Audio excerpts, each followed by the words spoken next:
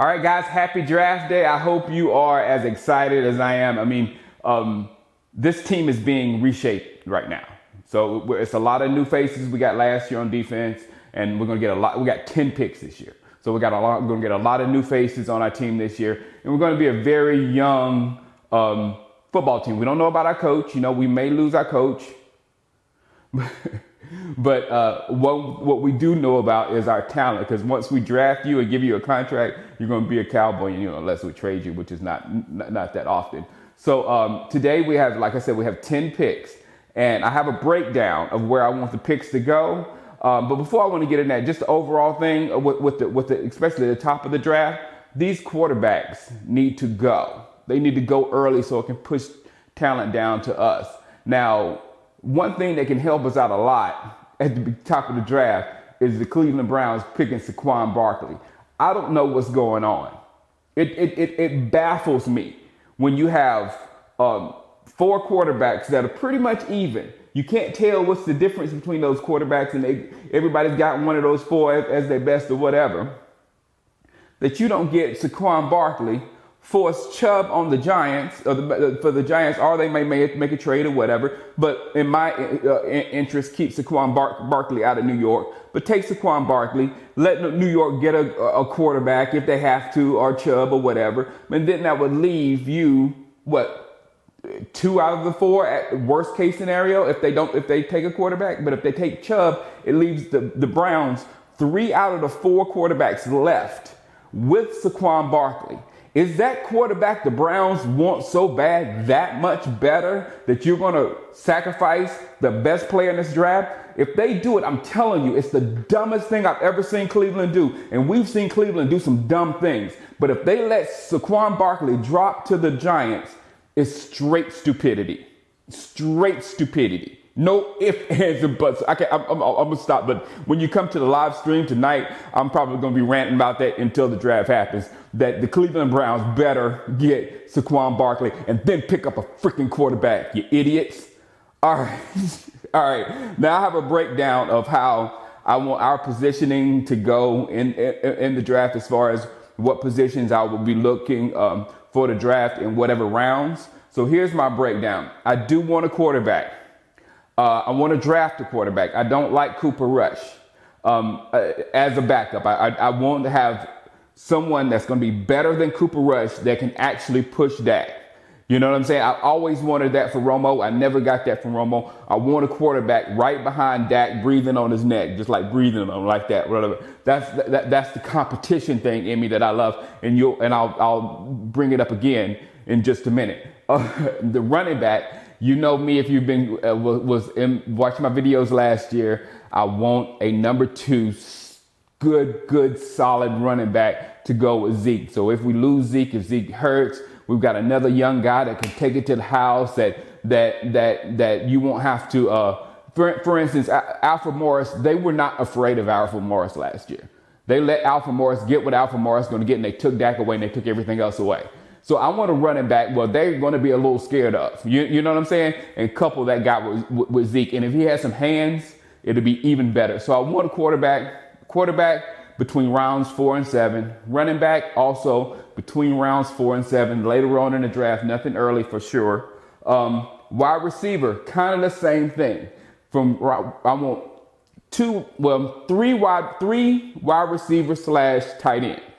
So it could be two wide receivers and one tight end, or one wide receiver and two tight ends, or whatever. But we need tight end and we need wide receiver. We need more targets for Dak. And then also, that would bring in competition for um, Ter- T- Terrance Williams, uh, Cole Beasley, Ryan Switzer, all those guys, and we'll let the cream rise to the top. Because I'm telling you, if I'm a fifth round draft pick wide receiver coming into the Dallas Cowboys receiving squad, I'm gonna feel like I have a chance. And I'm gonna go out there and I'm gonna bust my behind because I'm gonna feel like I have a chance. If I'm a third rounder, I'm gonna really feel like I have a chance. And that's hope. And I, and I said that on my video, the last video. If we get our first wide receiver by the third round, if we can hold off, kind of like we did with defensive back, because you was like me, we were like, oh, we need defensive backs, we need defensive backs. We were freaking out early, and the Cowboys just waited and waited and waited because the defensive back was were so deep. They waited, and we got Chido.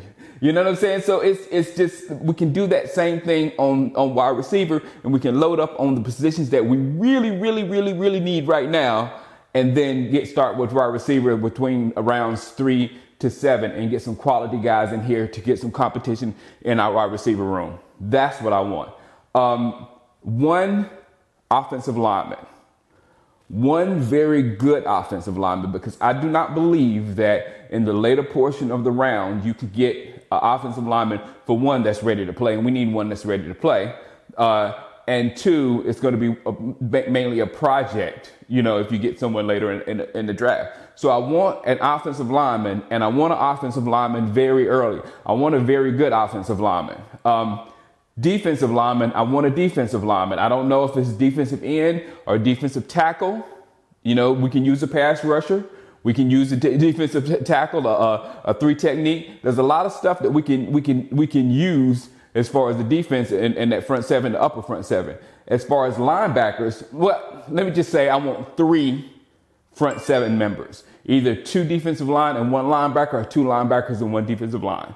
But um, we can't we can use one really good linebacker just for insurance with Sean Lee and Jaylon Smith and to go uh, as that third linebacker, whatever, to, to um, provide some competition there. But um, just three members of that front seven I want in this draft. And then for defensive back, I think we just need one.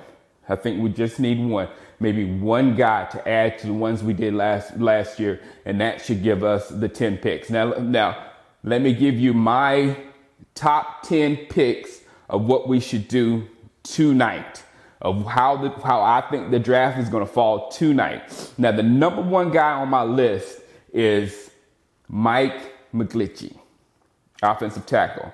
And let me tell you why I feel like we need offensive tackle more than anything else in this draft.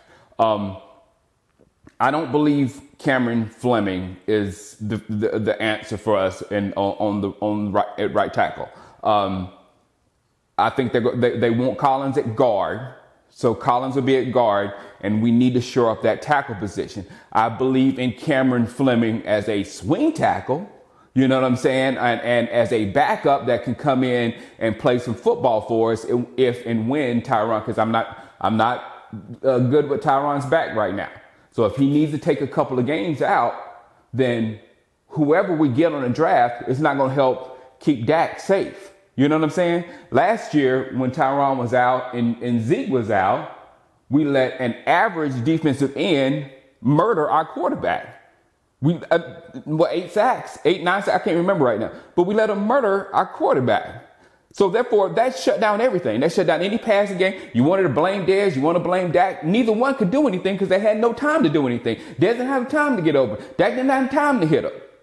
So if we don't have a, a quality def- offensive tackle on the other side, when Tyron is out, can slip to the left side, and we can have Cameron Fleming on the, on the right side, and we can keep that this train moving because we are a football team that is driven by its offensive line. If we do not have our offensive line, like last year, we can have four or three solid spots in that line, uh, offensive line. It really doesn't matter because they will expose us through our weak links. You understand what I'm saying? So if we're if if the offensive line is going to be our strength, and we, need to keep it strong, and we need to keep, keep, it keep it full. And I'm really really really worried about Tyron. I really am. Um, number two on my board, if you thought McClinch, McClinch I, I, might be saying his name wrong. He might not be there. A lot of these guys I'm saying right now probably won't be there, but who knows? Because when you look at um, Pro Football Focus, you have a top 50 that's this list. You look at Mayock, you got a top 50 list that's this list. And if I guess for sure if you go to the GMs of each team, everything is just different, especially nowadays because you don't know what teams are looking for. If they're more statistically based or more uh, um, film based or combat, what, whatever they are, it's, it's, it's all over the place. So we don't know what might happen. Um, number two, if he's there, Vita Vea.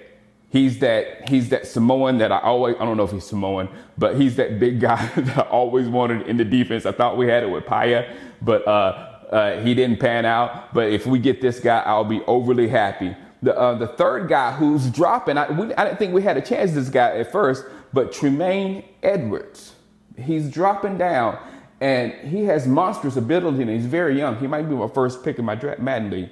Um, number five um, defensive end Harold Landry. I like this. This is heat. This is pure heat at defensive end. This is not like we had defensive end last week. Taco, I understand that, but Taco making been moving inside the defensive tackle. We can let David Irving go where he's going to go, and uh, we can have pure heat coming on the other side of Lawrence. Or next year, if this guy has a killer rookie season, we can tell Lawrence, "Hey man, you look, man, we got somebody that can rush your passer. You need to go get that money somewhere else so we can pay offensive line." You know what I'm saying? So it so getting a, pro, a quality pass rusher might help us out in a lot of ways, a whole lot of ways. So then Harold Landry is the next. Then um, another guy that's falling, I see him falling. I'm, I'm like, it's Minkah Fitzpatrick. If Minkah Fitzpatrick is there, that's the one rare defensive back that I would go up and get. Maybe a couple more because I didn't really scout defensive backs that much, but if a defensive back stud like Minkah Fitzpatrick drops to number 19, then we probably have no choice just to, because it's the be- best player available. We'll have to scoop him up. But I'm keeping my eye on Minkah. Um, at number six, back to the beast. You know, I, am keeping it really uh, offensive, defensive line based. Uh, Da'Ron Payne, again, some force in the middle of, of the defense uh, to, to help stop the run. He's a huge person to help stop the run. Um, and then on offense, the, I know I said that about uh, offensive tackle, but that we need offensive tackle because of Collins being at guard. But if we can, if God, if, if Collins stays at tackle or uh, uh, plays right tackle, um, then Will Hernandez is a is a road grader, you know, at offensive guard. So he can take that position uh, beside Tyron or wherever it is. I don't know where. But he can take that position. Yeah, It is beside Tyron. He can take that position and he can just he can he can kill with it. He can absolutely murder with it. And next, offensive guard. And next, um, we have um, at number eight we have Leighton Vander Esch. Leighton Vander Esch. Um, don't hate me for putting him on my list. Um, I didn't I didn't want to put him on my list. One year wonder. I know. Uh, I, and then I almost took him off because I heard I heard something about a neck injury this morning or whatnot. So he might be off, but I hear he's high up on the Cowboys list, like way up there on the Cowboys list. And I wouldn't be upset if we got him. It'd be a great uh, Sean Lee replacement. Uh, Brian Urlacher, a big, you know, six four, six five ish linebacker or whatnot. Put him there in the middle. See what happens. and uh, next one, another offensive tackle. I'm going back out to offensive tackle. Um, and Connor Williams. I don't know much about him, but another person, that's another person where I have to defer to the Cowboys organization because he's in Texas. I know they done uber research on him, but then uh, guard, uh, guard tackle, guard tackle. Is he a guard? Is he a tackle? That would still leave us, you know, in that. The, the cleanest thing is McClinchy. I don't see any other tackles that I really, really want because they're weak. They're, they're doing like uh, 24 bench press uh, reps, and I can do that. You know, Orlando Brown did 14. Man, I, I can't. We can't work with that. you know, so the, the one, the cleanest offensive line to me is McClinchy, but something about that Will Hernandez and Connor Williams, I, I, have to divert to the Cowboys organization for that one if he's if he's if he's uh, if he's available. And number ten is going to be Marcus Davenport. Um, I, it's just it's defensive line size, six six, freak athlete. Uh, I would I would I would I would go in for that. All right, this is what I was looking for. I had I, I, I brain farted on his name, but there's one last person that I'm I'm very interested in is Maurice Hurst. I don't think first round because I think he's dropped severely because his heart condition. He he didn't uh, perform at the combine because of his heart, but the doctors cleared him at Michigan and the uh, doctors cleared him at Harvard.